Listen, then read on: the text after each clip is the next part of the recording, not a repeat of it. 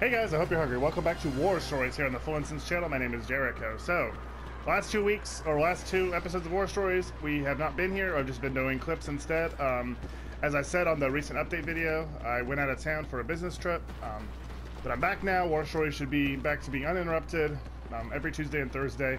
This will be for, for the foreseeable future. So, now that we are back, the biggest news to me that I want to cover first is the Nintendo Switch. So on Thursday night, um, Nintendo had their Nintendo Switch event where um, like they'd already, of course, revealed the console and what it looks like with their little video, but they told very little about um, you know what what the console was capable of doing or you know price, release date, anything like that. So they said just wait on January 12th, we got you, and we'll we'll show off all about the uh, the Switch. And they did. Um, they did a big announcement, um, longer than a lot of people anticipated. It went over an hour, which is quite long for a Nintendo conference. Um, and they did give a lot of information. Um, and it was not all good information. So let me preface this. I pre-ordered a Switch the next day. I'm very excited about the Nintendo Switch. There's a lot about it that I'm extremely, um, a lot of the announcement was really cool, um, made me very happy. Um, I'm excited to play the Switch. I'm excited to try it. I am very much looking forward to it in every sense of the word. But I thought that there were a lot of things about the presentation and about the Switch that I am not too happy about. And we'll be getting to into those. I'm basically just going to go over everything, all the big, the highlights from the conference, um, and just sort of my thoughts on them.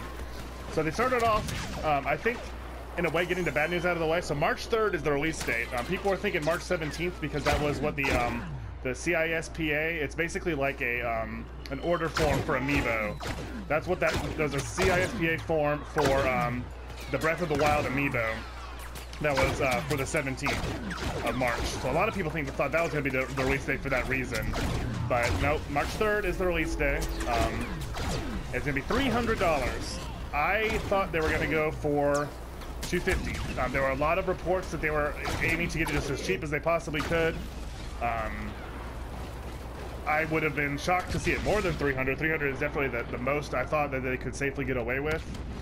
But that being said, um, I definitely expected them to go cheaper. There were rumors that they were going to go like 200 or 250 with the bundled in game.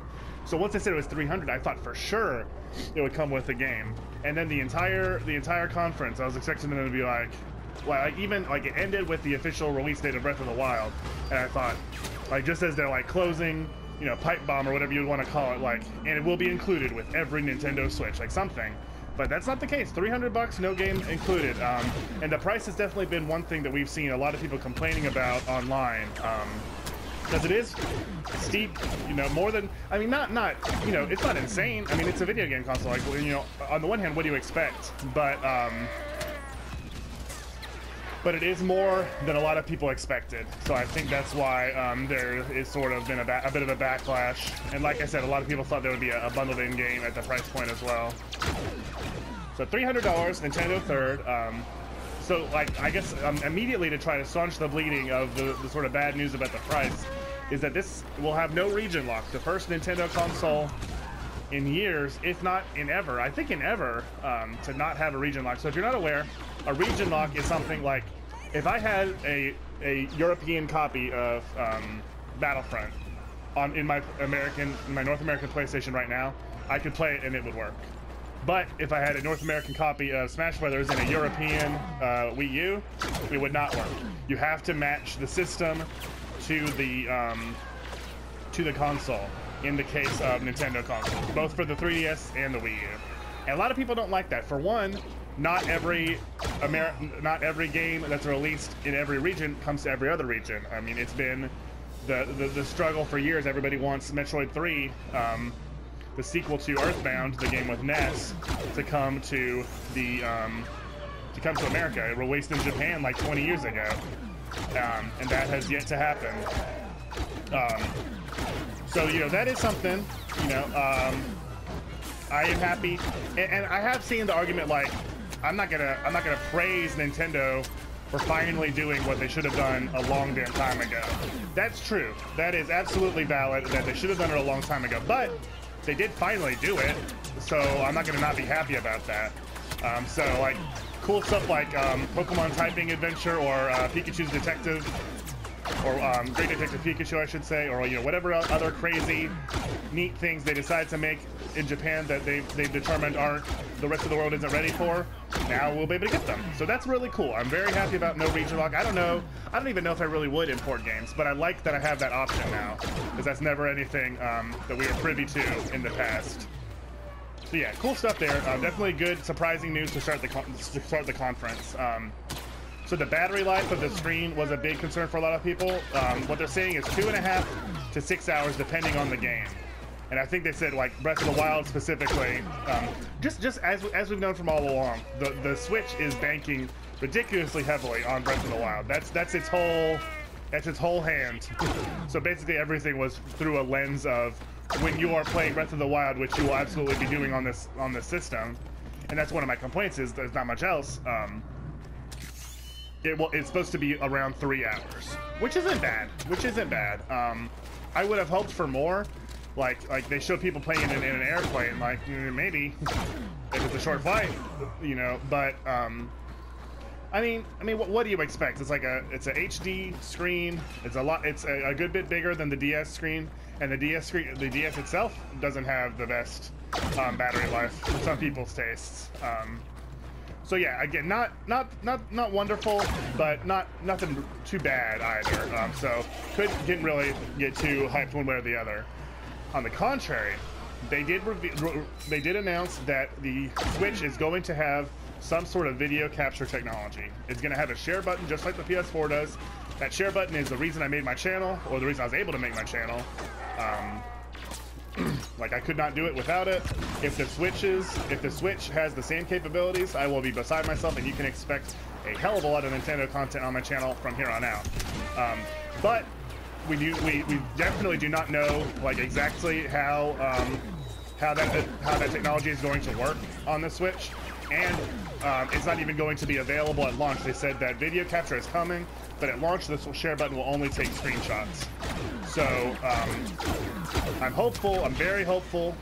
The fact that they have it at all, um, you know, like they, people know what what the PlayStation can do, and I'm pretty sure the Xbox has a similar thing as well. So I, um,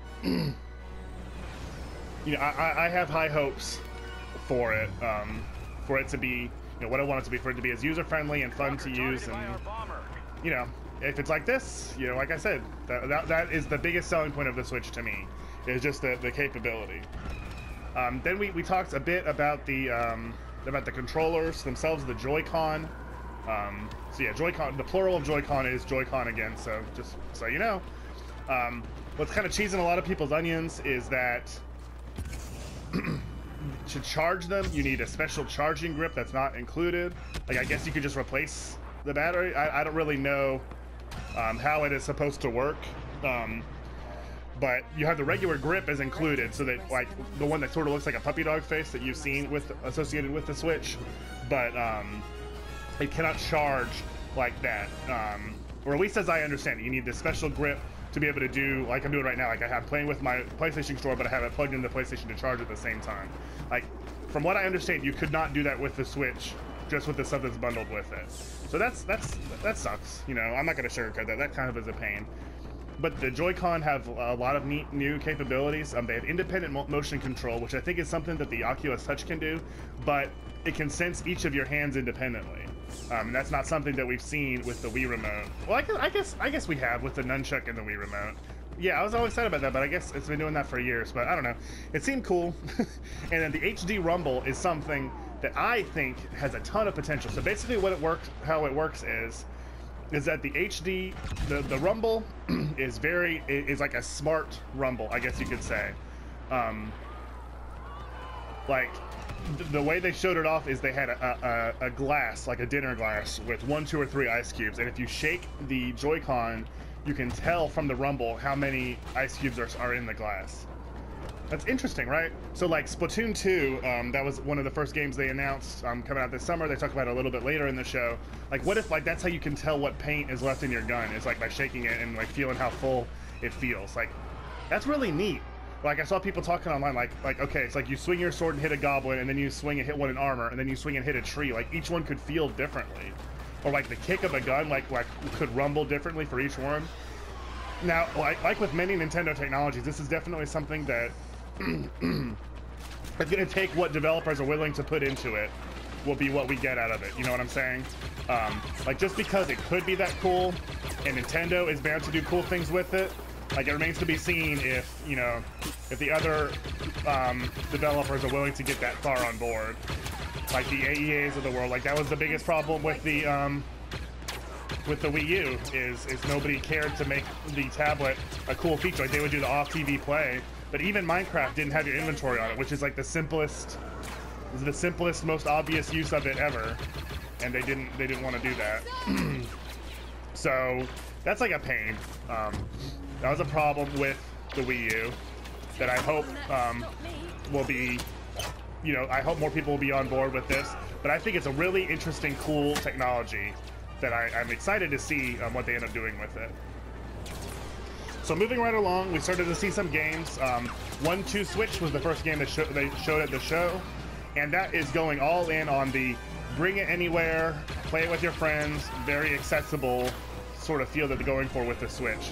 Basically how it works is you and an opponent each have one of the Joy-Con, and you just, you're supposed to stare into the eyes of your opponent, not at the game screen. And so, like, it's games like Quick Draw, where the game, like, the, the, the, screen will yell at you to draw, and whoever can pull their Joy-Con up to a firing position and hit the trigger first is the winner. Um, stuff like that. Like, I, I, think it has a lot of potential, but it is obviously a, a mini game collection, um, like Wii Sports was and Wii Play or whatever, um, Nintendo Land for the Wii U.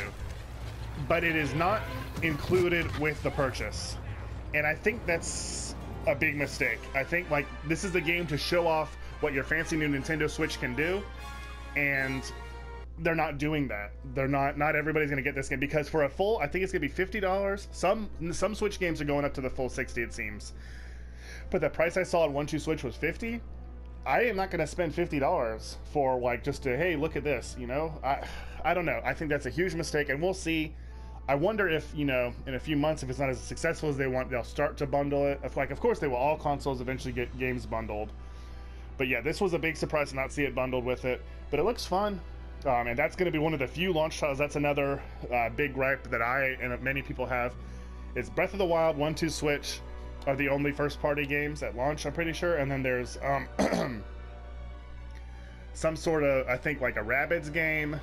Um, Skylanders and like Just Dance 2017 or 2018 or whatever. I think that's about it at launch, which is pretty pretty pretty pathetic. You know, I'm not going to sugarcoat it. Um, so that was that's a, that's not too great. So then we had Arms was the next game they showed off. Arms is basically a like a boxing game, but instead of just punching, you have long like spring arms that you can almost fire at people. So it looked fun. Um, again, like I don't know, like have a demo disc, have something just come with your console to justify it being so expensive and to show off the cool things that the Switch can do that other systems can't. Um, but ARMS looks fun. Um, you know, it's like you gotta sit there and actually punch to do stuff. So I think that's gonna put a lot of people off, you know, with bad memories of, you know, the Wii U or the Wii and the Wii U and their, you know, middling uh, success with the motion controlled games. But it can have a traditional control scheme as well, which I saw a lot of people pretty excited about. Um, so we will see um, how that ends up going. Um, I think I think that Arms has potential. It looks kind of fun. Um, has like a neat art style. It's very Nintendo um, in a lot of ways. And I think that might be when they started to talk about online. I don't know if I had that in my um, in my notes later. So online, for the first time ever, Nintendo is going to have a paid online, like Sony and Microsoft before them. which it sucks to pay for something that you previously have gotten for free. But you can't blame them. I mean, servers are expensive. Like, all, all the reasons that, that other companies have given to pay for their service, it's true of Nintendo. Like, whatever. But what I don't like, with, with the PlayStation Plus or with Games with Gold, you get games every month.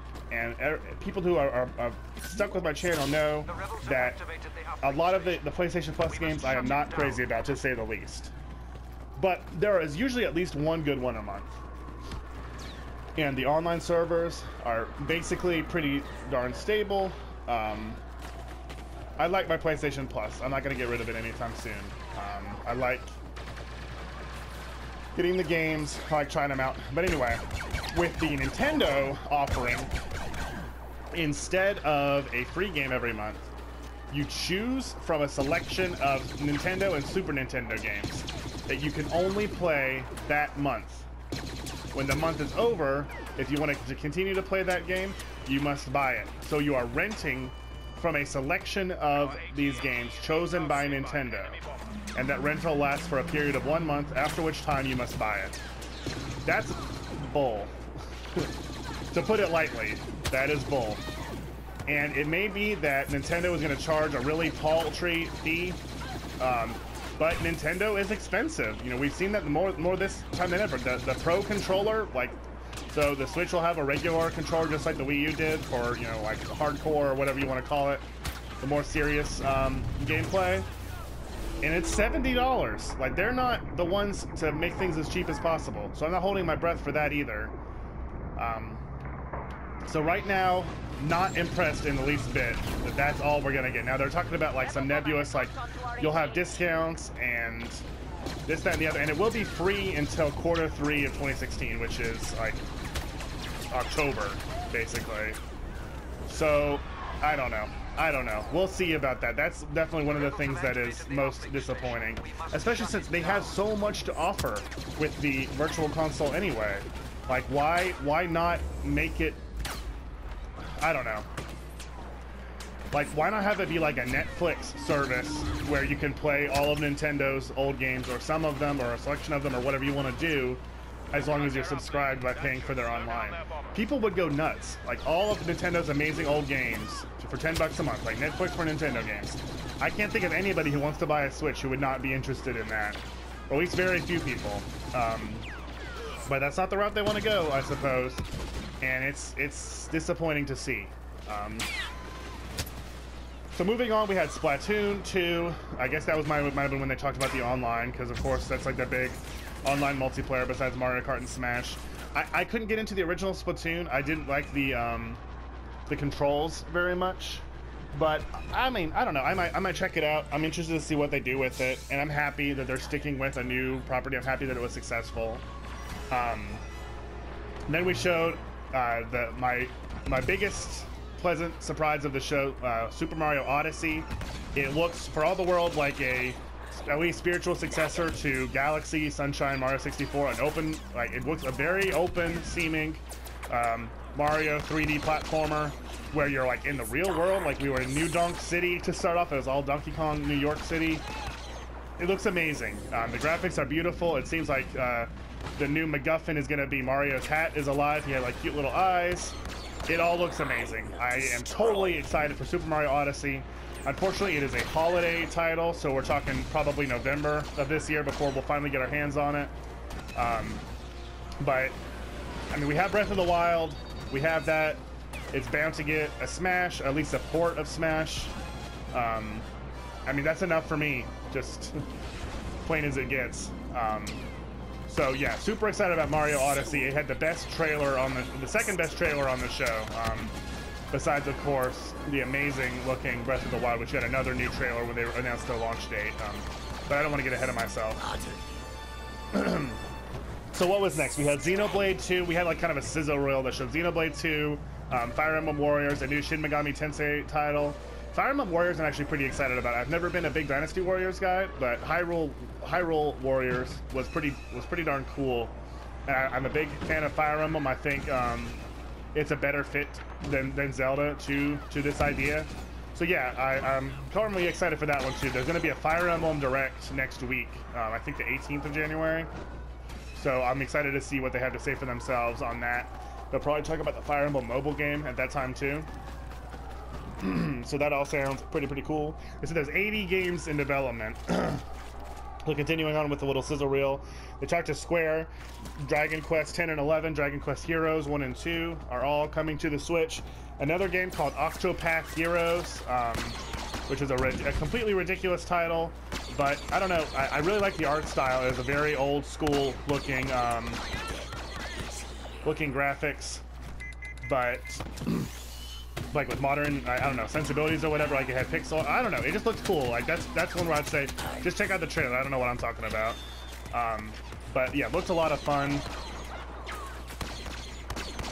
Sorry, I'm trying not to die while I'm also doing this. Skyrim was officially announced. I don't know, like Bethesda, even though Skyrim was in the trailer for the Switch, Bethesda was like, oh, we're not going to confirm anything yet. And that might have been uh, Nintendo's call. Like, we're doing our big thing. You can see it then. But um, for whatever reason, they decided to wait until now. And then Todd Howard came out and said, yeah, yeah, of course. Skyrim, which is a six-year-old game, though. It's cool that you can take it with you, but I just bought the Legendary Edition again, and I cannot imagine this version not having a ton of bugs because they've never been on Nintendo before. So, um, we'll see. And that was one thing about the conference, too. Bethesda and EA both like we're like, oh, we cannot wait to work with Nintendo. Like, oh, I named my son Luigi. Like, I wouldn't be a gamer if not for Nintendo. It's like nothing was stopping you before, but being money grubbing. Like, you you make your own choices. So I mean, whatever. That's always been the case with um, Nintendo. Speaking of EA, uh, FIFA is coming. It's obviously a test. If FIFA does well, they'll bring everything and do a full support. If FIFA doesn't do well, then screw the Switch. No support from EA at all Wait, and other third-party companies will probably follow um, in their footsteps, which is, of course, a big shame. Um, Suda51 came out for the most awkward part of the presentation. His translator was like way behind. Um, the message, I think, was um, a little bit confused at best. Um, he said basically that Travis Touchdown is back, but he did not formally announce a No More Heroes 3. He just said he's working on some cool stuff. And that's fine, whatever. Player stuff close to the chest. Um, Reggie Fils-Aimé has been giving um, more interviews um, ever since the con the conference, and basically saying like the reason why we haven't announced a lot is we're not worried about having a million games at launch. We want to have one or two big games like every season, and just keep keep the lineup strong. That's what's going to keep people playing and keep people coming back. And that's true. That's that's totally valid. So, um, but I'll believe it when I see it, you know, because the Wii U just has just been dying a slow death for more than a year at this point. Um, but we'll see.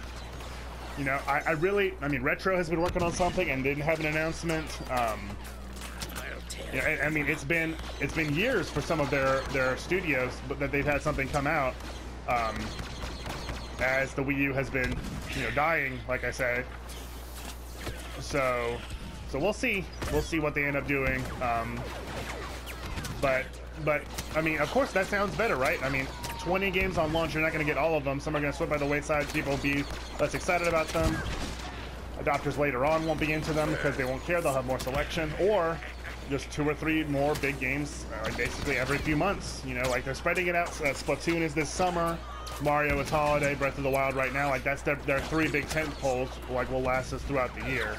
So that's cool. I mean, I'll take that. Um, but, that being said, I want a damn Metroid game. I've been waiting plenty long enough, and it's ridiculous that we haven't gotten anything still. Um, we'll see what they end up doing in that as well. Um, that was basically it for the conference. They officially announced that Breath of the Wild is coming out on launch day. Um, that, of course, was expected. Everybody's excited to see it, myself included. They showed another new trailer that looks amazing, like breathtaking, like uh, amazing, uh, you know, astounding, you know, like the other trailers should not hold a candle. There's just something about Nintendo still that um, the other companies just don't get. Um, and that was very obvious with this Breath, of the Wild presentation. Um, so all in all, I thought it was a good uh, a good press conference. Um, they had a lot of news I was interested in. I think they did a lot of things right. I'm excited about the Switch, like I said. Already bought and paid for. Um, we'll see how good their follow-through is, and we'll see how other companies respond. We'll see what it's like to actually have it in, in, in you know, in the hands of the consumers. Um, outside of the actual conference, they did a few more announcements. Mario Kart 8 Deluxe is coming to the Switch. It's basically Mario Kart Ultimate Edition, or whatever you would want to call it, with all of the um, with all the DLC and some new stuff and upgraded battle mode.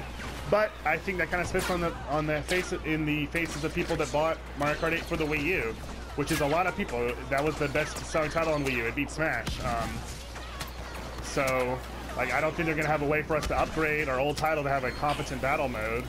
So that's kind of that kind of sucks.